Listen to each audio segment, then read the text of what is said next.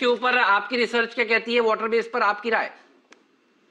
Positive ही रहेगी, क्योंकि आशीष जी ने जैसे कहा है आई थिंक जो गेट प्राइसेस होती है, वहाँ पे बढ़ोतरी देखने मिली है।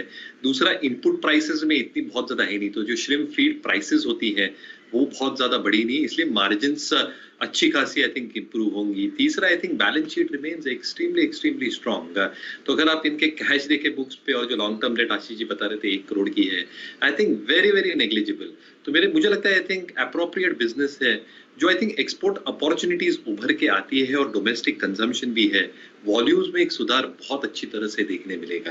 मुझे लगता है consumption as a theme and water base I think बहुत अप्रोप्रिएटली प्लेस्ड है सही बात है।